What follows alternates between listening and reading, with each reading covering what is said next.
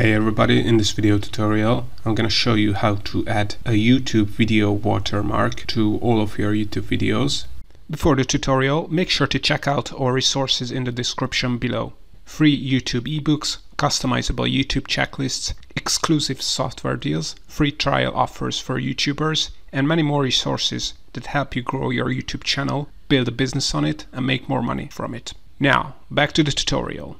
So if you want to add a video watermark to all of your YouTube videos, you don't have to re-upload your videos or you don't have to add this watermark in the video editing software necessarily. You can do this in the YouTube studio and YouTube will automatically add the watermark to your YouTube videos. And not only that, but people are going to be able to use this watermark that will show up on your videos to subscribe to your channel. So you give them even one more way to sub to your channel. So all you have to do is open up studio.youtube.com to sign in into your YouTube channel. Then on the left, click on customization. Then on the channel customization page, then click on branding.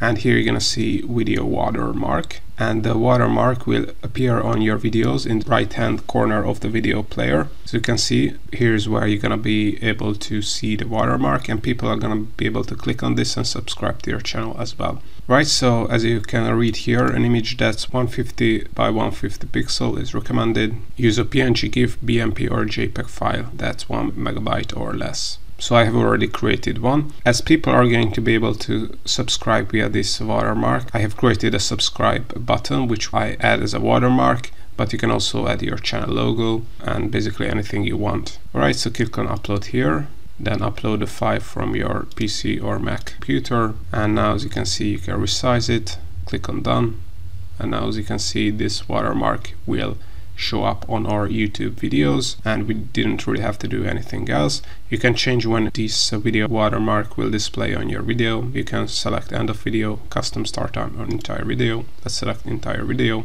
Then to save the changes, just click on publish and this video watermark will be added to all of our YouTube videos that have been uploaded to our YouTube channel. So this is how to upload a video watermark and add a YouTube video watermark to your videos. Alright, if something is still not clear to you, check out our more detailed instructional blog post on roihacks.com. Links to that in the description below. Also, don't forget to check out our free ebooks, checklists, software deals, and templates that help you grow on YouTube and teach you how to make a full time online business from your YouTube channel.